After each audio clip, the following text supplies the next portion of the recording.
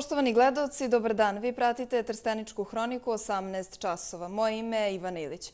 U Skupštini grada Beograda danas je održana šestogodišnja konferencija i svečana dodela sertifikata Povoljno poslovno okruženje na delu zašto i gde investirati u Srbiji.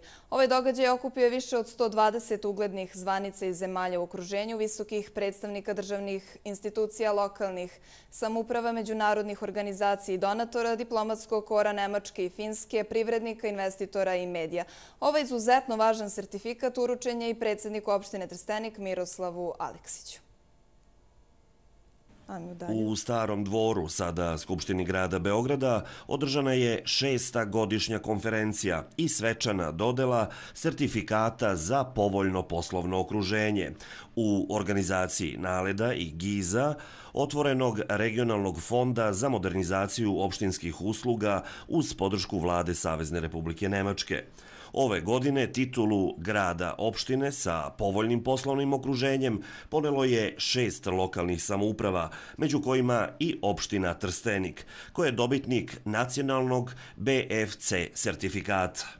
Opština Trstenik je, zahvaljujući naporima koje je lokalna administracija na čelu sa predsednikom ulagala tokom prethodne dve godine, se danas našla u grupi odebranih lokalnih samouprava iz Srbije koje su ponele ovu laskavu titulu i priznanje koje je sada već poznato u regionu opštine sa povoljnim poslovnim okruženjem.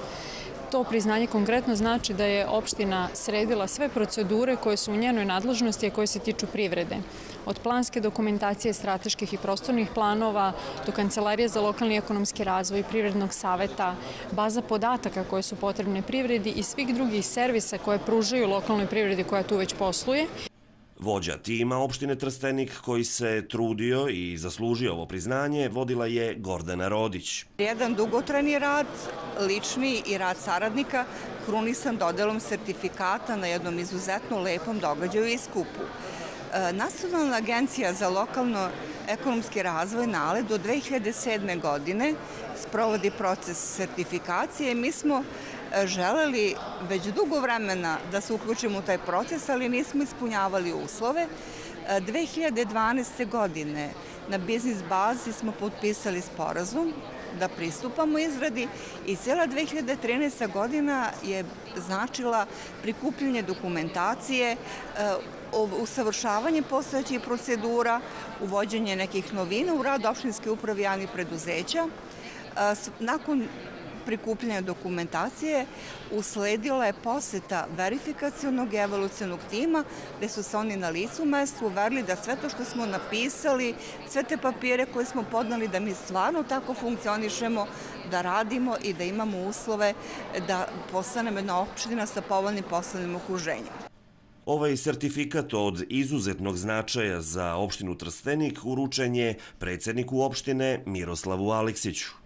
Lično mislim da je ovo jedna velika stvar za opštinu Trstenik, velika stvar za privredu opštine Trstenik, za sve naše stanovnike i Trstenik je danas našao se među šest opština u Srbiji koje su u ovoj godini ostvarile i ispoštovala sve tražene kriterijume da se svrstaju u grupu opština sa pozitivnim, odnosno povoljnim poslovnim okruženjem.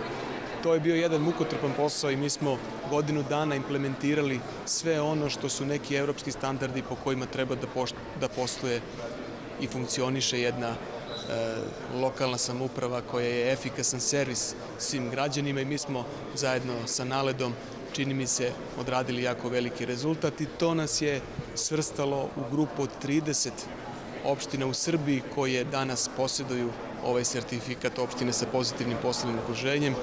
E, dakle, to nije mala stvar, jako je velika stvar i pre svega suština je da mi ovaj sertifikat koji smo dobili sprovodimo u praksi. Dakle, da to osete i naši privrednici i naši građani, svi oni kojima lokalna samouprava treba biti jedan efikasan i modern servis. I podpredsednica vlade Republike Srbije i ministarka državne uprave i lokalne samouprave Kori Udovički govorila je o planovima i merama za jačanje kapaciteta opština, unapređenju poslovnog okruženja, promociji investicija i važnoj ulozi programa sertifikacije. Poštovani gledoci, gost Trsteničke hronike Stojljiko Acković, direktor Sportskog centra Trstenik. Poštovani gospodin Acković, dobrodošli u naš program. Bolje. Recite nam, kao što smo već mogli da vidimo, vrše se veliki radovi na sanaciji bazena koji je, nažalost, dosta strada u nedavnim poplavama. Pa nam recite šta je sve urađeno i koliko je uloženo u saniranju bazena. Pa kao što znate, ova elementarna nepogoda sigurno pogodila i bazen, odnosno sportski centar Trstenik, tako da sada trenutno se izvode završni razovi, čekamo zadnji preliv vode koji će večeras biti, ujutro ćemo završiti čišćenje i mogu obavestiti da sutra od 11 sati bazen će biti otvoren za sve građana Trstenika. Uh, uloženo je, ako interesuje sredstva, ovom prilikom zahvaljujem se i predsjedniku opštine i lokalne samoupravi koji su sve učinili finansijski da ovaj bazen projede, da bi ova sezona krenula. Oko 3 miliona dinara, nešto manje, košta sanacija bazena. Šta se sve dešava na Trsteničkom bazenu? Vidimo da je mali bazen jako lepo oslikan, što će dosta privući naše najmanje, najmlađe sugrađane, pa nam recite čija je to bila ideja? Pa sigurno ove nesreći i uopšte u prilikom renoviranja bazena rodili su se veoma lepe ideje. Mogu ovom prilikom da zahvalim direktoru Narodnog zveta Simić Petru, stalno umešam ime i prezime, da se ne ljuti, i sigurno umetniku Andri Čikalu, koji su svojom rukom ulepšali kako mali bazen, tako i okolinu velikog bazena, da dobiju neke nove detalje, da u svemu ovom renoviranju damo jedan novi izgled celokupnom bazenu. Da li je sve spremno za početak kupališne sezone kao što ste najavili? Da, sigurno. Znači, kažem, čekamo zadnji ovaj trenutak, zadnji priliv, ujutru od 11 sati, zato što su jutra hladna. Pomerili smo početak rada bazena od 11 sati. Znači, do 19 časa uveče radit će bazen, tako da svi ljubitelji ovošte vode i bazena ove godine uživaće u tim prostorima. Ono što svakako najviše interesuje naše građane jeste ta cena karata. Da li će biti nekih popusta na karte i da li će sutra kada se otvori bazen biti besplatan ulaz? Pa vidite, e, sigurno, znači razmišljali smo o tome, ali od prvog dana smo krenuli, znači karte će biti, naplaćivaće se karte, popusti, odnosno cena bazena, kao i na nivou prethodnih godina, 150 dinara je dnevna karta, 3000 dinara je sezonska karta, e, studenti i odlični đaci imaju popust 50%, dok vukovci i osvojači e, republičkih takmičenja imaće besplatnu kartu. Dobro. Naravno, što je, ono što interesuje naše građane jeste i sama činjenica šta se dešava sa akvaparkom u Trsteniku. Pa, kao što znate, prva faza akvaparka je završena. Znači, tehnogradnja je obavila svoj posao i prva faza iznosi 51 milion dinara. Nama je ostalo još oko 12 miliona dinara da krenemo u neku, da kažem tako reći, međufazu. Ja bih samo zamolio sve i gledalce koji su sumnjičavi, mi te pare imamo na računu, ali kao što vidite, zadesila nas je ova nesreća sa bazenom, tako da nismo stigli, evo, prvom prilikom kada počne bazen da radi, idemo u tu međufazu, raspisujemo tender za nastavak radova na akvaparku. Naravno, mi pozivamo što veći broj građana da dođu sutra na otvoranje bazena. Vama hvala što ste bili naš gost. Hvala i vama. Mi nastavljamo sa ostalim temama. Povodom Dana ustanka Naroda Srbije 7. jula opštinski odbor Saveza boraca Trstenik tog dana u 11 sati položit će cveće na spomenik kraj Morave. Oni pozivaju sve građane naše opštine, učesnike ratova, porodice poginulih boraca da prisustvuju ovom činu. A sinoć je u Kruševcu održana prigodna svečanost u čast radija u saradnji Radio Kruševca i Radio Trstenika. Pod nazivom Večeri radija u Kruševačkom kulturnom centru okupio se veliki broj ljubitelja radija i gostiju na svečanosti koje je u čast ovog medija organizovala i otvorila Jelena Protić-Petronijević. Zanimljivo je čuti priču od strane novinara, uh, urednika, učesnika programa na radiju, onih koji znaju istorijat radija poslednjih godina, možda i decenija ovde kod nas, a znamo da i slušalci imaju svoju verziju i svoje utiske, pa će verovatno biti i pitanja iz publike i bit će neke razmene energije e, i ja verujem da, da radio mora da opstane, zato što pre svega jeste radio i čuvar kulture i pre svega muzičke kulture i e, nekako e, da je radio uspeo da se izvuče u toj komercijalizaciji, da ostane svoj i zato smo i hteli da razgovaramo o radiju jer verujemo u budućnost radija. Priča o radiju je uvek dobra i uvek na pravom mestu, a beseda kako je radio opstao u ovoj sferi velikog broja medija, mislim da stoji u samo jednom odgovoru. Da je brži od svih drugih medija, da je pravovremen, istinit i dobronameran. Nakon uvodnog govora domaćina o istoriji radiotehnike i predstavljanja gostiju, prisutnima se obratio direktor radiotelevizije Kruševac Đorđe Kovačević. Činjenica je da radio ima ulogu u predstavljanju i čuvanju kulturnih vrednosti, pa serija događanja vezanih za radio koju večeras započinjemo u kulturnom centru naš doprinos dragocenoj saradnji.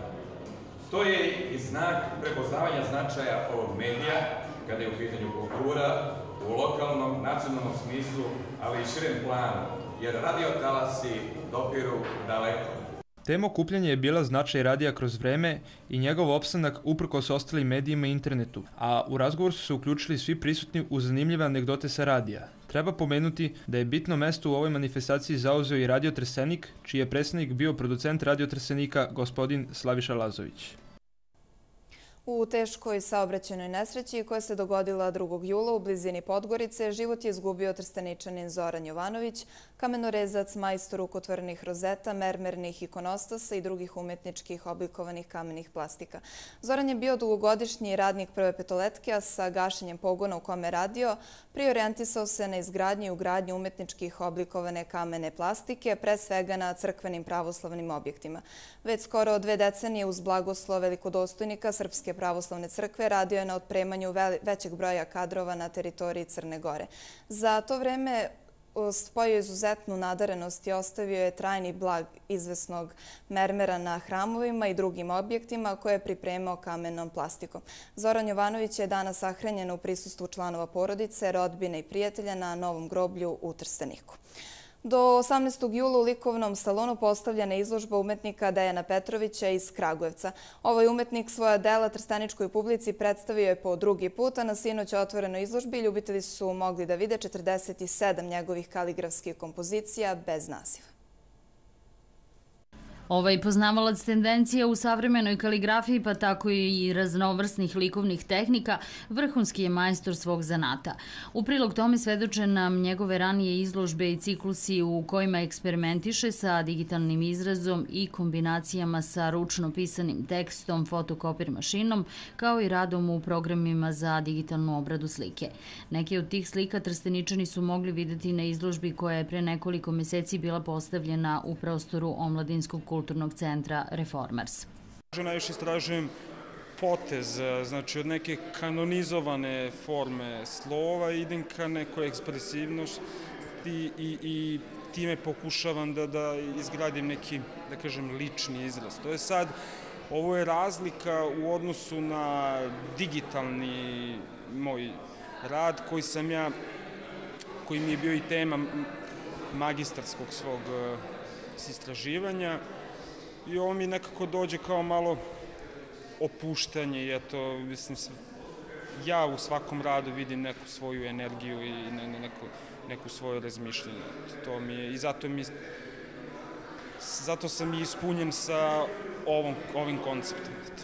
Da li to znači da ćeš nastaviti u istom ovom pravcu, jer jedino, čini mi se, umetnici danas mogu da se bore za Ćirilicu? Pa svakako da ću nastaviti da se bavim ćiriličnim kaligrafskim formama, ispisima.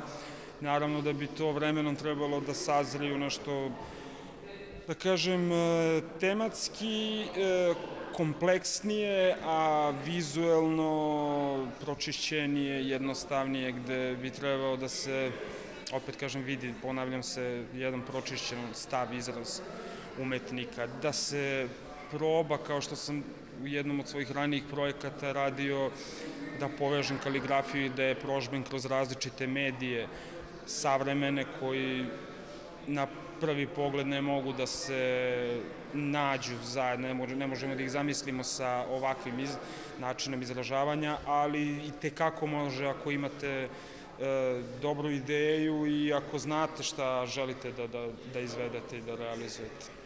Izložba Dejana Petrovića koja je u likovnom salonu postavljena do 18. jula može se shvatiti samo kao još jedan umetnikov korak napred na putu protkanim izuzetnim stvaralačkim procesima. Autor nam ovom prilikom svojim radovima ne objašnjava, niti daje uputstva. U njima se krije kompleksnost i potajna za svakog. Tajna koju treba otkriti. Vinogradari sa područja Trsteničke opštine ove godine usled obilnih padavina češće nego što su to činili ranijih godina tretiraju svoje vinograde raznim sredstvima protiv bolesti koje se javljaju, pre svega protiv plemenjače i pepelnice. Česta prskanja utiču da troškovi proizvodnji grožđa ove godine budu izuzetno visoki, kažu proizvođači. Neobičajeno mnogo padavina ove godine donelo je i velike probleme u održavanju i zaštiti vinograda od bolesti kojima su izloženi čokoti, pre svega od plamenjače i pepelnice. Vinogradar Slavolju Babić iz Male Drenove kaže da je do sada morao čak deset puta da oprska svoj vinograd. Vrlo loša godina bila za održavanje. Napadala su, napadali, bolest je napadao, branili smo se jednako, morali smo non stop da vodimo računa. Malo je zakačila plamenjača, ali sve u svemu već smo e, ovaj do sada, da. do sada smo već prskali 10 puta. I, i vrlo je teško ovaj zbog toga što su velike kiše i ne može da uđeš traktorem, kaljavo je, preliva preko guma, mora da se to uradi, a vrlo nepristupačno. Koliko, koliko se ove bolesti odražavaju na rod i koliko će ga ugroziti? Pa sve zavisi kako je kuj prskao. Imam pojedini koji su to slab, vrlo loše shvatili pa nisu na vreme se spremili prvo početno ovaj, od krenjena lastara koji su trebali već od 5 cm da se prskaju pa sve normalno do, do zalamanja sad. Takođe i pepelnica je ugrožavala. Pepelnica je ugrožavala mnogo. Prvo je plemenjača, onda preko lista sprovodi na gruz i onda izaziva crnicu, plemenjaču i ovaj ugrožava rod. Osim što će uticati na prinose i kvalitet ovogodišnjeg roda, plamenjača i pepelnica će uticati i na poskupljenje proizvodnje grožđa. Više ulaganje će da bude, a cena kakva će da bude, to mi ne znamo, a sve u svemu ima već toliko godina, iste su cene i ne, slabo se pokrivamo na osnovu koliko se ulaže. Vinogradari očekuju da će ovogodišnji rod grožđa i pored obilnog tretiranja zaštitnim sredstvima ipak omogućiti dobar kvalitet grožđa, ali sumnjaju da će cenama moći da se nadoknadi ono što su u ovoj nepovoljnoj godini uložili. A kolika su ta ulaganja u zaštitna sredstva pokazuje i primer Slavoljubovog komšije Nebojše Stojakovića iz Male Drenove. Za svako od osam do sada obavljenih prskanja vinograda od 9 hektara uložio je više od 80.000 dinara, a prskanja će, kaže, do 1. augusta biti još najmanje pet. Masovna potraga za jestivim pečurkama koje se prodaju ovih dana nameće i pitanje da li su oni koji koriste gljive za ishranu bezbedni i kolika je opasnost da dođe do trovanja gljivama ukoliko se pogreši proceni koje su gljive jestive, a koje su otrovne.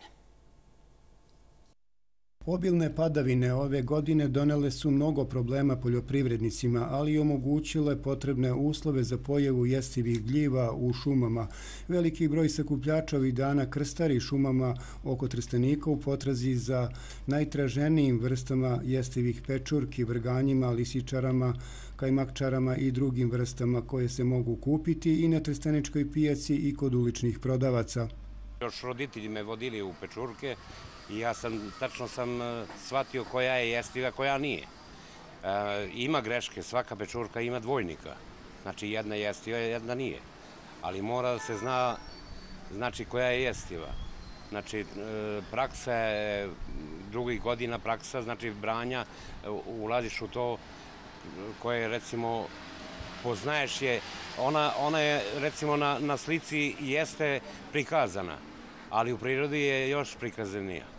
Na slici ne može, ne može da slika da, da dočara u prirodu, kad je vidiš u prirodi. U potragu za jestivim gljivama dali su se iskusni sakupljači koji dobro poznaju razliku između jestivih i otrovnih vrsta gljiva, ali i oni kojima je znanje o gljivama izuzetno skromno, što može doneti i opasnosti za one koji konzumiraju gljive koje se beru. Vrganj normalno ima, koja zove se drugi dvojnik, je ludara. Ona je znači, otrovna. E, lisičara ima isto dvojnika, ona je, e, ove su e, žuče boje, a ona je malo, malo zatvorenije boja.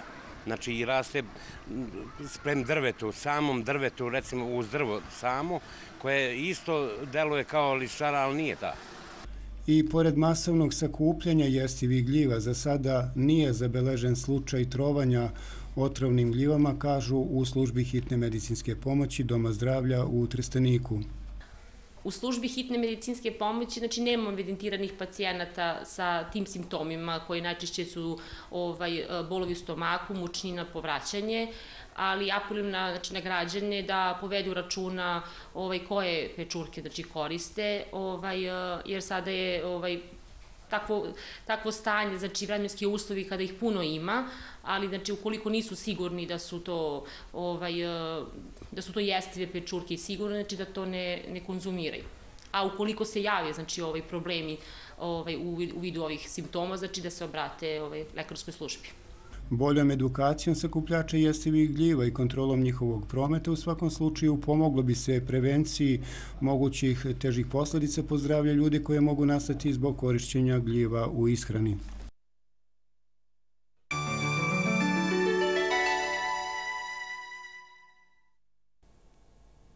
Kakvo vreme možemo da očekujemo u narednom periodu, čućemo u prilogu od koleginice Vesne Rakovac. I sutra sunčano i veoma toplo. Temperature tokom jutra sutra će se kretati od 10 do 17 stepeni, dok će maksimalne vrednosti sutra iznositi od 24 do 31 stepen. Duvaće slab jugoistočni vetar. U nedelju sunčano i još toplije. Eto, vikend koji je pred nama biće sunčan i topao, a vi ga iskoristite na maksimalan način. Samo poslušajte savete i nemojte se izlagati suncu u najtoplijem delu dana od 12 do 16 časova. Evo i ostalih vesti. U subotu 5. julu u 19 sati počeće akcija za prašivanje odraslih formi komaraca sa insekticidom. Tretman će se vršiti sa zemlje na teritoriji područja opštine Trstenik. Tim povodom obaveštavaju se pčeleri da preduzmu odgovarajuće preventivne mere. U Medveđi će u nedelju po četvrti put biti održana Čorbijada Kotlić kraj Morave. Za sada je prijavljeno 13 ekipa koje će se nadmetati u ovom takmičenju, a prijave se primaju i na sam dan takmičenja. Za najuspešnije ekipe obezbeđene su prigodne nagrade. Takmičenje u kuvanju riblje čorbe zvanično počinje u 8 sati, a oko 13 sati biće poznati pobednici a Planinarsko-smučarsko društvo Ljukten organizuje tabor planinara na planini Željin od 11. do 15. jula. Prijave i ostalo obaveštenja mogu se dobiti u planinarskom klubu svakog dana od 19 do 20 sati, zaključno sa 8. julom. I to bi bilo sve, poštovani gledalci, u današnjem izdanju Trstenečke hronike. Vi nas gledajte dalje u našoj centralnoj informativnoj emisiji Dnevnik koji je na programu 20 časova. Hvala vam na pažnji i prijetan dan.